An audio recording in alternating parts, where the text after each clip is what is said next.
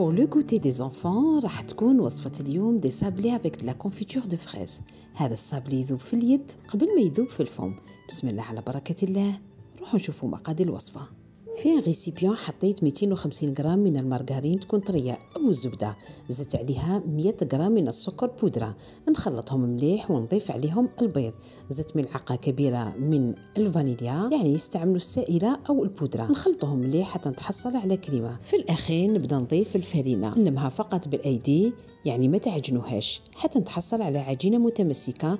بهذا القوام نخليها تريح لمدة ربع ساعة. والسر باش تحافظوا على شكله بعد ما يطيب. بعد ما تحلوا العجينة entre deux papiers cuisson حلوها فقط رقيقة وحطوها في المجمد اي ال congélateur لمدة 10 إلى 15 دقيقة. بعدها تبداو تطبعوا الأشكال اللي تحبوها. طيبوها على 180 درجة لمدة 10 إلى 12 دقيقة. بعد ما بردوا نبدأ نعمرهم بأي معجون متوفر عندكم في المنزل.